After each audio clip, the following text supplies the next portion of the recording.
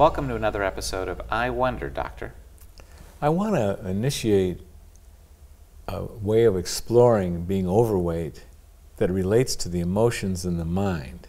I say initiate because with every diagnosis, including overweight or obesity, there are emotions in the mind related to this. And I want to communicate a story that I heard from a mentor of mine that touched me deeply. And, you know, it's the hardest part of having any kind of diagnosis, whatever it is, is how we feel about ourselves, how we try and reject that part or judge that part, or we're going to work so hard to eliminate that part. And my own experience with myself and the ways that I must deal with this is that this never works.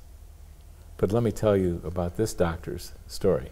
I initially heard this story in a room of about a thousand doctors. He was at a training seminar, and he was talking about metabolism, insulin resistance, and he said, I have a story all of my own as it relates to this. He said, early on in my life, at a very young age, I was majorly overweight, by over 100 pounds all the time. And from early on, as a young man, I started taking on the approaching it through nutrition, which I was becoming an expert at as a physician, and exercise, and insulin and insulin resistance, and everything that we all know relates to being overweight. And sure enough, I'd go on some plan and I'd lose weight and I'd get real excited and I couldn't hold it and it would come back. In the world of dieting, it's called yo-yo dieting. the weight goes up, the weight goes down, the weight goes up. And he said it was very frustrating to me. And after a couple decades of this, applying everything I knew and had, including a lot of commitment, I was standing in front of a mirror looking at myself full on and feeling more discouraged than I ever had in my whole life. I felt like a failure. And as I started opening up to what was I was really feeling, not what I was trying to present to myself and others, uh, my heart just sank.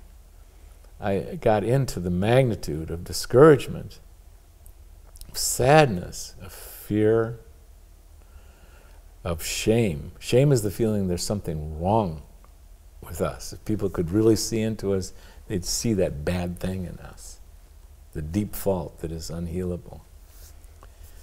And he said, I stood in front of that mirror and I just was, time was suspended for me.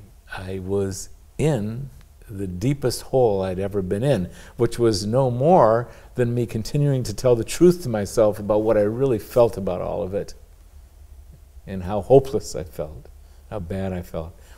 And he said, I had, and this is the doctor lecturing to over a thousand doctors in the audience, including me. He said, and I had an, a genuine transformative experience. I said to myself, looking at myself in the mirror, looking at my whole body, I'm going to continue trying. I will not give up, but I'm changing my life.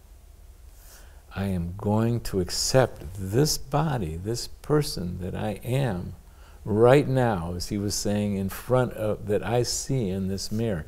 And he kept looking and seeing and feeling, and he, his vow was, I'm going to accept what I see. And I'm going to stop doing this thing that I'm going to be okay when I lose the weight. And since I haven't lost the weight, I'm not okay. But when I do lose the weight, then I'm going to be the, the person. Right now, I'm in, in, invalid. Now, this is true on so many levels. I, in my own way, have had to face very similar things. You know about them very well, being my son. But this was so touching to me because number one, this is one of those times that can be dramatic as it was for this doctor, or come on gradually. And like many alcoholics have faced this, where it comes on gradually. and they finally get the momentum, but still it's a molecule by molecule choice. So it doesn't feel like they've had one big, huge aha experience. It feels like something they fought every molecule for.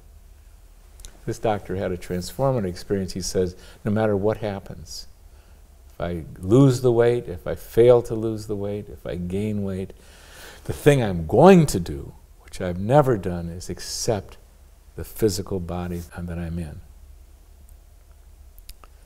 And he said, and I did, over and over and over and over again. And a couple years later, he had lost over 100 pounds. That was the turning point self acceptance of the being that we are.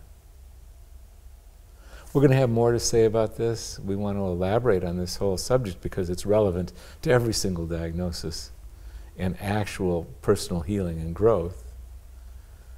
But although I personally haven't dealt with the weight issues, certainly not to the extent that so many do, I find this across the board in every single illness and all the challenges that I've personally had to deal with in my life. So, accept thyself.